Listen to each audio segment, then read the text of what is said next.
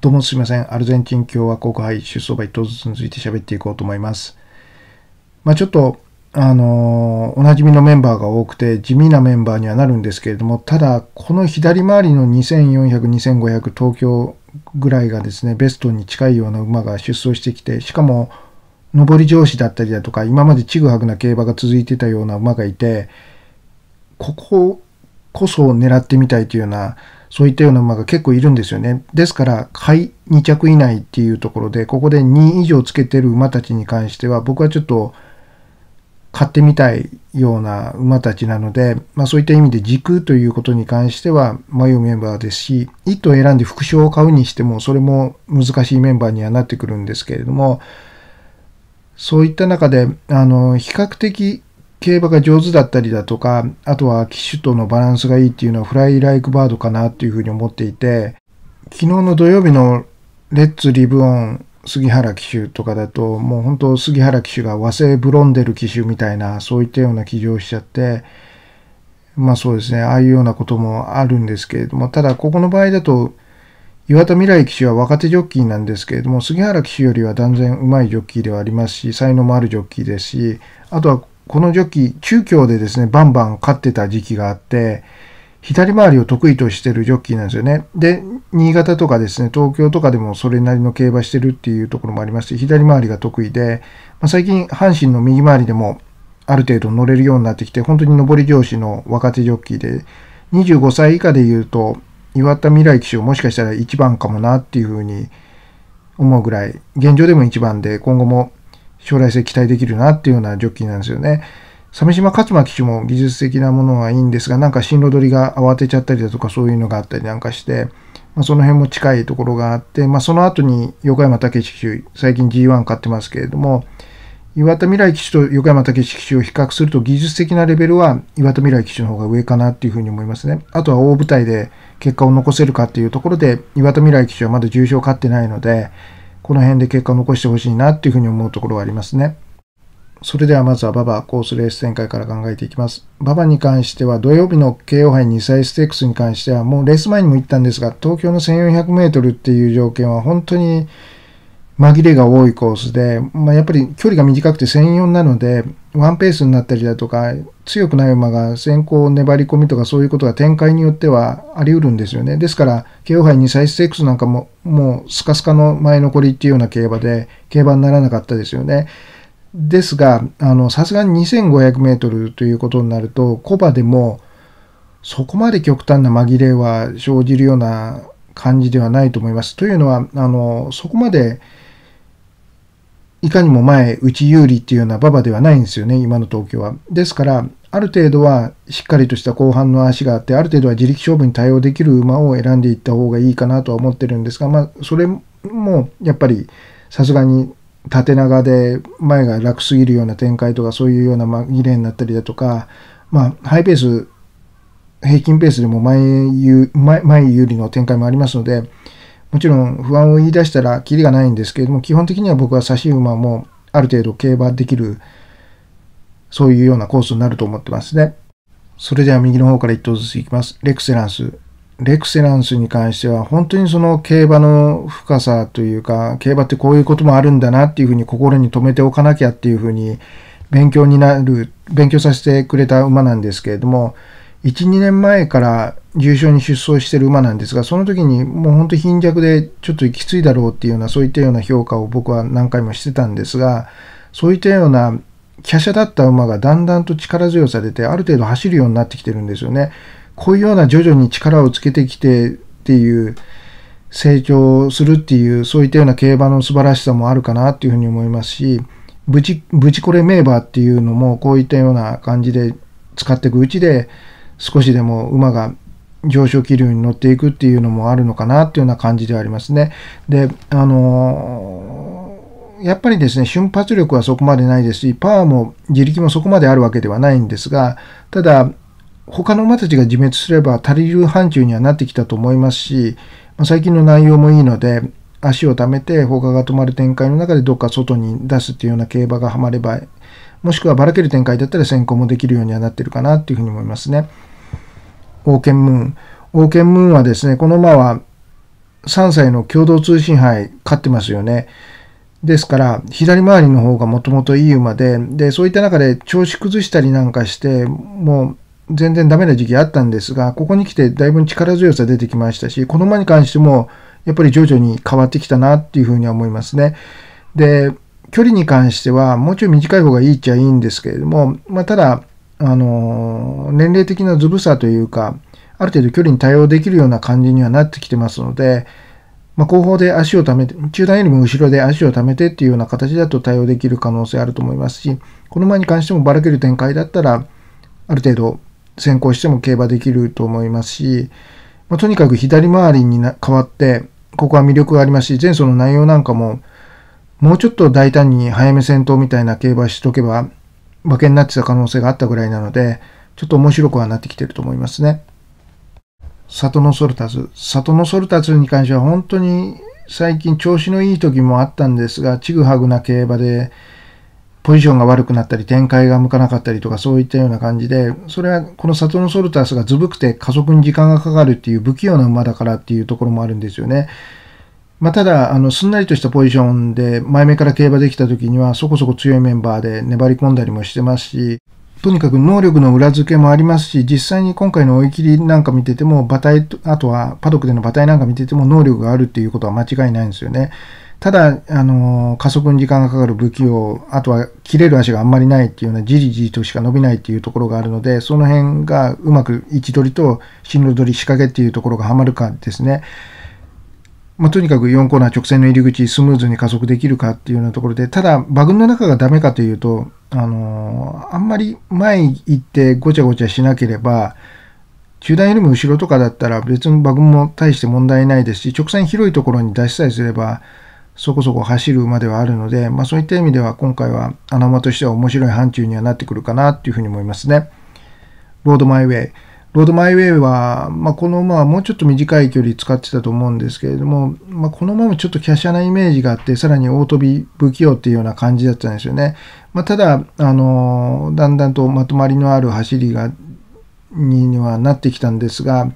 逆に言うと、ちょっと小さくまとまったような感じもあるっちゃあるので、あまり怖さっていうのはないかなとは思うんですが、まあ、あの、やっぱり他が自滅しまくった場合だと、最近走ってるところもあるので、後ろからどっかのタイミングで仕掛けた、それがはまれば、可能性としてはなくはないとは思うんですが、まあ、ちょっと力的には劣るとは思いますね。フライライクバード。フライライクバードは、あのー、まあ、ちょっと、なかなか本格化しきらかなかったなっていうような感じがあったんですが、ここに来てぐんぐん馬が良くなってるなっていうふうに感じましたし、今回追い切りなんか見てても多少余裕はあるんですが、良い意味での余裕かなっていうふうに思いますので、僕は仕上がりとしては8分以上は確実があるかなっていうふうに見てますし、まあちょっとずぶくて加速に時間がかかるみたいなところがあったりだとか、まあ、ちょっと気象的にスイッチがなかなか入らないようなところがあるんですけれども、東京コースだったら、まあ多少進路を選んだ後でも、まあ、素足の足し方さというか、しぶとさっていうところは出るんじゃないかなっていうふうに見てますし、岩田未来騎手、本当に左回りだと落ち着いて乗れることが増えてきましたし、まあ、ここだったら面白いコンビになってくるかなっていうふうに思いますね。ただ、あの、重症で余計な形で打ちつきとか、そういったような、まあ、岩田康成騎手、お父さんの悪癖みたいなのを真似して、馬群の中突っ込んだり内ついたりとかそういうのがあると良くない方向に行くことが多いので、まあ、基本的には外への意識、なるべく大外に出すっていうような意識を持ってほしいなっていうふうに思いますね。アイアンバローズ。アイアンバローズはですね、結構スピード能力は高いとは思うんですけれども、まあ、ちょっとスラッとした感じの、なんか綺麗な走りをする、綺麗すぎる走りをするようなところもあったりなんかして、自力勝負になったり、あとはタフな展開になるとどうかっていうような感じはあるっちゃあるんですよね。あとはこの馬、道中はですね、スピードとセンスをある程度感じるんですけれども、直線を追い出すとあんまり伸びないんですよね。この辺気象的な前向きさが足りなかったりだとか、甘くなりがちかなっていうような感じで、あの、直線でスコーンと切れる足を使うイメージがなかなか湧かないんですよね。なんか本気で走ってないような感じがありますし、そうなると追い出しを我慢したりだとか、もっと言えば直線追わなくていいぐらいなんですけれども、多分石橋周騎手だと結構背面を追い出したりとかしちゃうジョッキーではあるので、まあ、思い切りのいいのがハマる時もあるっちゃあるのでそれがいい方向に向けばいいんですけれどもこのメンバーでギリギリの勝負になった時になんか変に早めに足使っちゃって早めに余計なところに力が入っちゃって甘くなる可能性はあるかなと思うんですが、まあ、でもスムーズなところでうまく4コーナーから直線っていうところをスッとこの馬のセンスとスピードを生かすような競馬ができれば構想するかなっていうふうに思いますね。アドマイヤアルバ。アドマイヤアルバは、まあ、あの、未勝利走ってた頃は1008とか1006ぐらいが良さそうな感じだったんですが、まあ、その後距離が伸びるようになっても対応できてっていうふうに力つけてた時期はあったんですが、まあ、ただやっぱり年齢的にですね、成長がなかったですし、小さくまとまって硬くもなってますし、バネも落ちてますし、ちょっと厳しくなってきてるかなとは思うんですが、まあでも、そうですね、まあ、この前に関しても他が自滅しまくればっていうような範疇ではあると思いますね。アイスバブル。アイスバブルはですね、まあ、この馬に関してはもう何度も何度も重症で高く評価してきた馬で、とにかくずぶくて加速に時間がかかる、じりじりとしか足が使えないっていうようなタイプなんですよね。で、あの外国人ジョッキーが乗った時ですね、OL ジョッキーが乗った時、その時だと、そんなに調子が良くなくても、馬券に絡んだりしてますよね。まあその時も東京だったんですが、やっぱり東京みたいなタフなコースで2400前後だと乗りやすいかなっていうふうに思いますし、一時期と比べると今回動きがシャープになってきてますので、そうなってくると三浦航石騎手でも動かせる可能性があるんですよね。まあ、もちろん100能力を出し切れることはないんですけれども、80%以上能力を出せれば、このメンバーだったら十分足りますし、このアイスバブルっていう馬については何度も言ってきたんですが、調子のいい時に外国人騎手を乗せれば、ジャパンカップでも掲示板以上を狙えるような能力を秘めてる馬なので、相手なりっていうようなタイプなので、まあ、今回、まあそ、そこそこいいメンバーは揃ってるんですが、この馬も面白い範疇の一頭にはなってくると思いますね。ディアマンミノル。ディアマンミノルは、まあ、この馬はですね、御堂筋ステークスでしたっけ？右回りのレースで、まあ、うちの方から本当進路取りとしては全然ダメな内つきをしてしまって、馬場も悪い中でぐんぐん伸びて、あの時なんか本当にすごい、あの、G1 クラスの末脚を感じました。ただ、やっぱりここ厩舎もあんまり良くないっていうのもあるんですけれども、ちょっとその切れ味をキープしたまま成長することができなくて、ちょっとスピード寄りになっちゃってるかなっていうような感じなので、スピードとパワーをつけたがために、ちょっとキレは鈍ってるんですが、まあ、ただ、あの、ある程度、素足のいい馬でもありますし、右、コーナーからペースが流れやすい右回りの方がはまりやすいんですが、東京コースでも直線勝負すれば、それなりの競馬してるんですよね。ですから、あの、他の馬たちが止まるような展開で、この馬が外からぶっ飛んでくるっていうような可能性はあるんですが、